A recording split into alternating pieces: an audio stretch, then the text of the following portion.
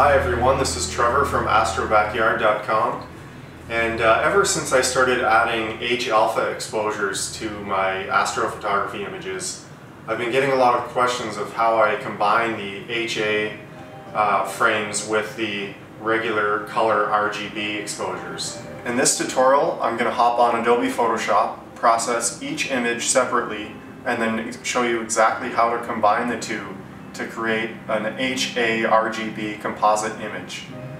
The entire details of this process will be outlined in the tutorials section of astrobackyard.com.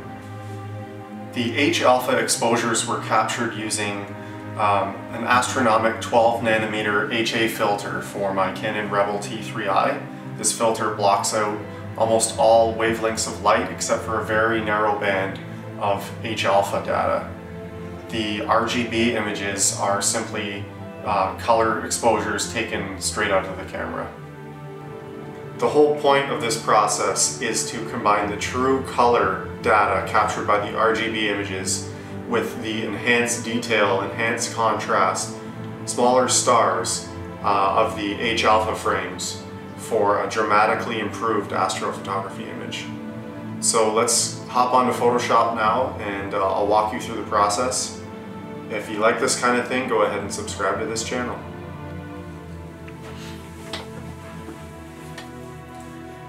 Now I'm going to hop onto Photoshop and share my screen with you. If you've got your own color and H-alpha images that you've, you've been waiting to combine, you can follow along with me and this is a, this is a good way to do it in Photoshop. Uh, there should be a link in the description to the, uh, the detailed steps of this process on my website as well. Okay, now you should be seeing my screen. We're here in Adobe Bridge to start off with. Um, so before combining the images, you'll need to create a master file for both the full color and the H-alpha versions. Uh, we'll start by taking a look at the photos I've taken using, using only a light pollution filter of NGC 1499, the California Nebula. Now these weren't shot from the backyard. Uh, frames would look much more blown out um, through the light pollution here. This was shot from a dark sky site back in October 2014 and these are 300 second exposures at ISO 1600 shot with uh, my old modified Canon Rebel XSI. So, uh, just like any other astrophotography processing session, you would want to go through each one of these frames and uh, check to make sure that your guiding was okay and there's no fuzzy stars or satellite trails um, traveling through the image, uh, anything like that. So I've actually already looked through all of these and they are ready for stacking. So it looks like I've got 36 frames in total to stack at uh, 5 minutes each, so that's a decent amount of time. So I'm just going to open up Deep Sky Stacker here, and oh look at that, there they are. So uh, I'm to open my light frames here, and I should just take you through that. Open picture files, uh, astrophotography 2014. October 25th. Okay, so here's my light frames, and it's actually kind of interesting. You can see how the object, as it got higher in the sky, the contrast became much better. If you look at the difference between image 186 here and 221, uh, it's quite uh, quite a difference. God knows why I stopped taking light frames at that time. Uh, I'm sure I must have had to pack up and go. It must have been getting late, but Regardless, uh, I'm happy to have these frames, so we'll go ahead and load them in as picture files. And then uh, we're going to select dark files, and uh, they were in the same folder there. I wasn't as good at uh, my file management and folder management back then. Uh, and we have our dark frames here. And unfortunately I didn't shoot any bias or flat frames. These days I wouldn't even dream of not doing that, but uh, I was just living on the edge in 2014, I guess. So then we're going to go ahead and check all and register checked pictures. And since I've went through all of them, I'm going to tell Deep Sky Stacker to use 100% of the pictures and stack them. It's telling me, of course, that I need uh, my flatten offsets, which I don't have. but I'm just going to take a look at the recommended settings here. Um, everything seems to be good. Every all the exposures match. Uh, I'm not going to make any changes here. So I'm going to go ahead and run this. And oh, look at that, three hours exactly. So um, I'll check back in with you after our RGB uh, file has been stacked and registered. So Deep Sky Stacker has finished uh, registering and stacking uh, the RGB image. We ended up with three hours total, 36 frames at ISO 1600. You can see the California Nebula here. And uh, so we'll bring this into Photoshop for uh, further processing.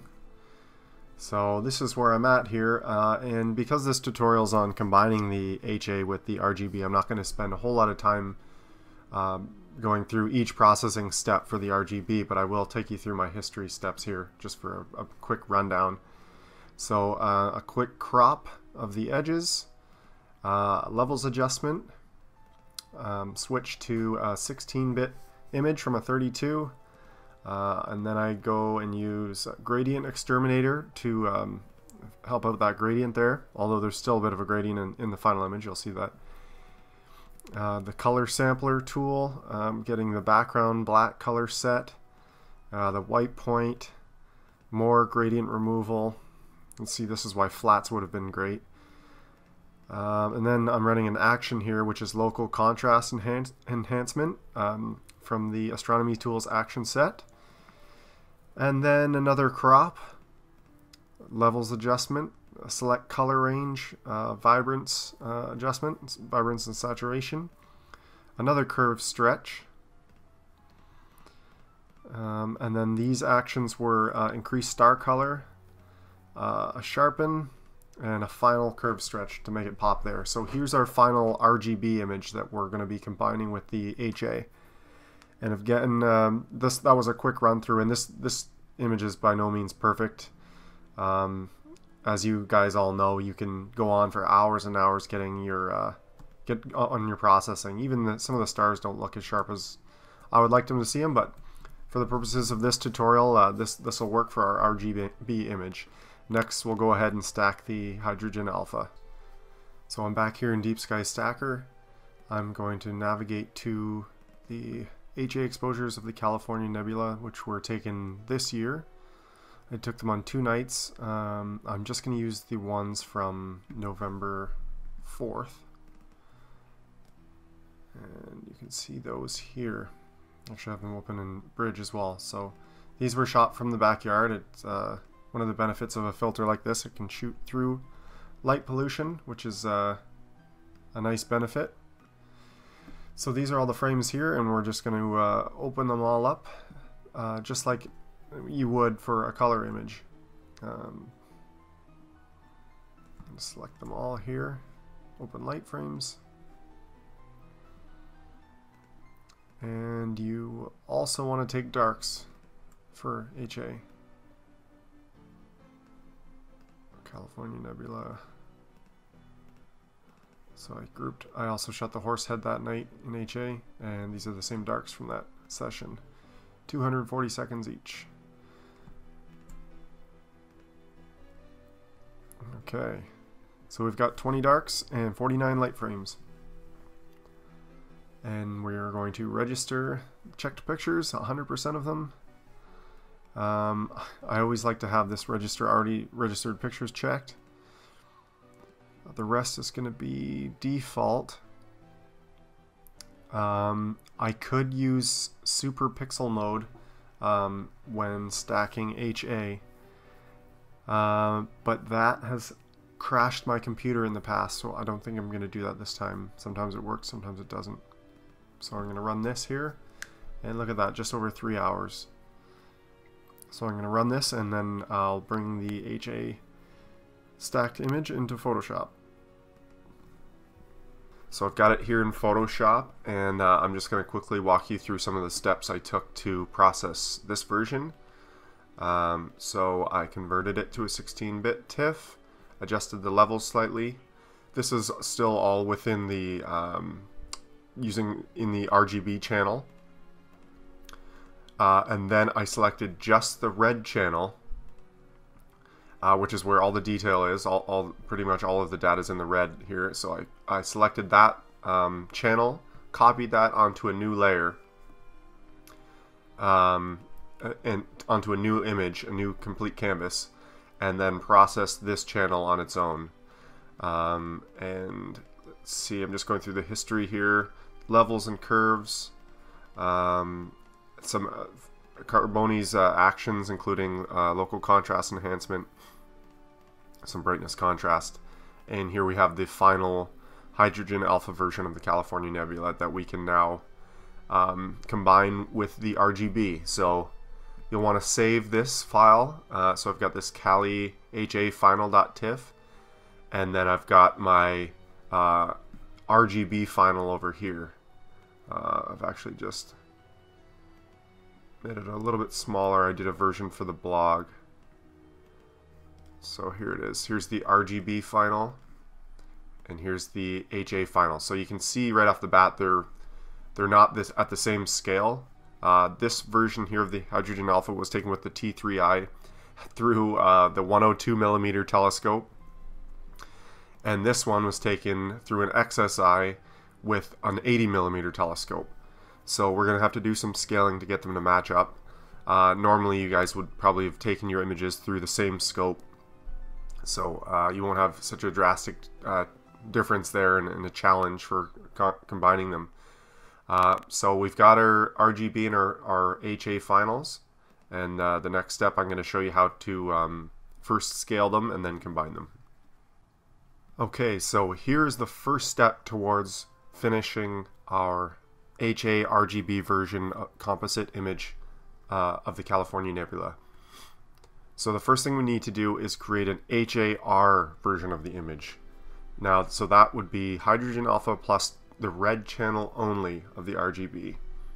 So looking at our RGB final here, we're going to go into channels and click on the red channel and we're going to select the entire layer, copy it, and paste it onto our TIFF file, our hydrogen alpha TIFF file. These are both TIFFs I'm working with here. So this is what I was talking about when I said it's the scale is way off. And uh, so because I shot it through different scopes. So look at the look how different it is. It's much wider field of view in, in my RGB, and then of course I'm I'm zoomed right in for my HA. It's a combination of different camera, different telescope. So what you'll need to do is scale these images uh, to match up if, if you're in a situation like mine. Hopefully you're not. Uh, and you don't want to scale up because you're losing resolution. Um, so I wouldn't just take this top layer and match it up like this because that would this top layer would lose resolution. What you'll need to do is scale down your bottom layer. So what I mean by that is uh, use this background layer and scale that down to match this one. And it took quite a while. I started shooting a video about that, and it, it was honestly five minutes of me rotating and scaling. So uh, I've pre-done that. Um, so if we turn this off, here's the RGB red layer, and underneath it is the HA. So you can see they match up now. And so just look how much I'm going to crop away of the RGB. So this is this is going to be our final image here where they overlap. Put that on top. Okay, so to create this HAR version, we're going to just, um, so we'll have the RGB on the bottom and the HA on the top at about 20 to 30%. I think we're going to go with 30. Let's just see. Yeah, so as as you add this layer on the top, the stars will get smaller, and you'll see more of the uh, the smooth hydrogen alpha details. So I'm going to go, I'm actually going to go 35. So now that I've got these together, I'm going to go ahead and crop this area here. So I could rotate just, uh, just to get a little bit more out of it. So I'm going to take these two layers and rotate it slightly just to get that bottom flat edge. And then I always do this. I use the, the guidelines to get the most out of my cropped area. So there was a trade-off. I get a little more, I might rotate it back. I'd rather get the detail up here than rather than down there. It's it's horrible to lose any of it, but uh, that's why uh, you want to get that object framed up when you're in the field properly. So I don't let stuff like this happen again. There we go.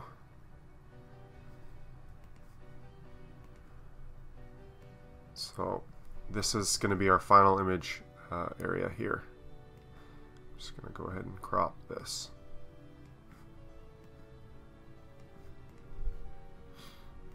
Okay, I can delete these. So there's the RGB red channel, and here's 35% of the hydrogen alpha on top.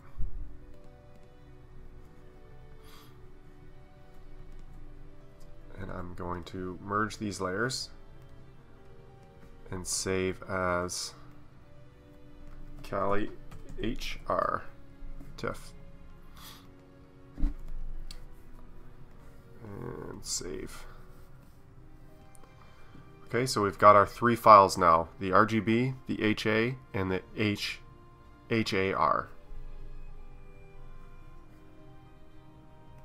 The next step is to create a new version of the RGB image that uses the HAR uh, version uh, as the red channel in the RGB. So to do that, we're going to copy our HAR version.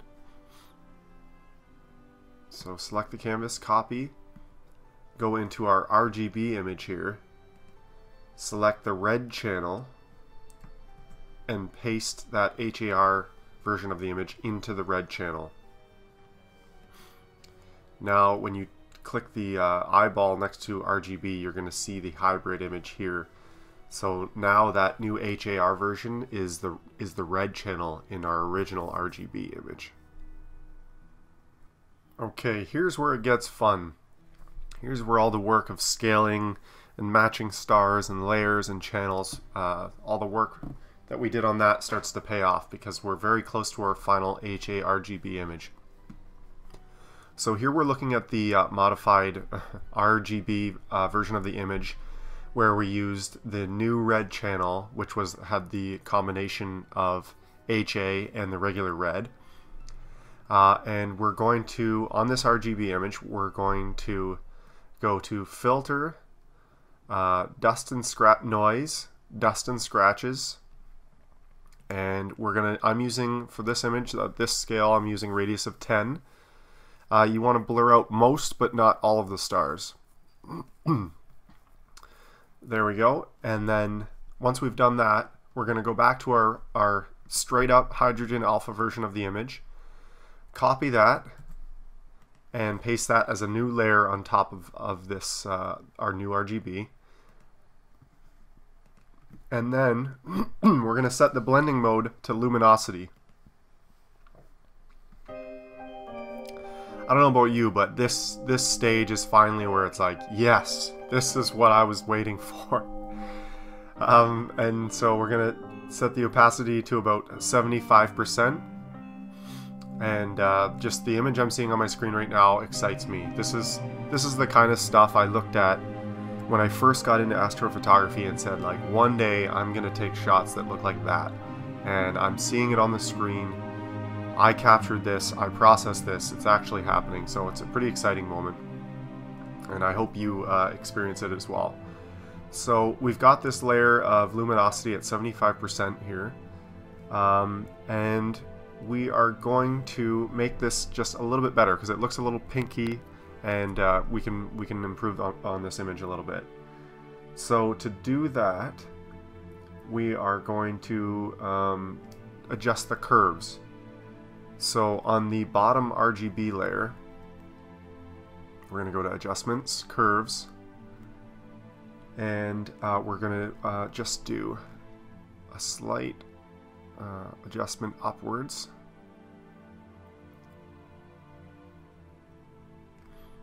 Okay, and then on the top uh, luminosity hydrogen alpha layer, we're going to grab curves again, but this time we're going to lower the dip.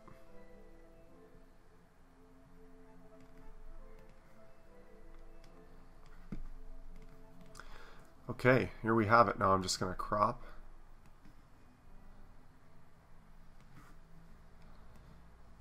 There we go. And I might actually bump up my uh, hydrogen alpha layer just a little bit more just to get that detail. And so here's our final image, our HA RGB version of the California Nebula. Now you can flatten this image and do some more processing to it if you'd like. Um, I'm probably going to leave this as is. And obviously there's fine tuning that you could make all the way along. I see some strange coloring, the green halo around the star there. And all that sort of fun stuff you can work on uh, when processing astrophotography images. But I think I got my point across at uh, the process for creating an HARGB image. And hopefully you stayed along with me. I will say that you can make life easier by, um, if you are scaling images and trying to match stars up, I would pre-match them up uh, before you paste them in um, rather than trying to align that red channel layer on its own. It can be a bit frustrating. Um, but yeah, so hopefully you've, you've been able to uh, take something from that and uh, you've created your first uh, HA RGB image. And uh, yeah, thanks for watching so much, and thanks thank you for being a part of the Astro Backyard community. We're almost at 3,000 subscribers. So I, I've, I've, daily just getting amazing comments from around the world about this. Uh, I so that's something I never expected when uh, when making this channel. So thank you all for watching, and um, all the best. Clear skies.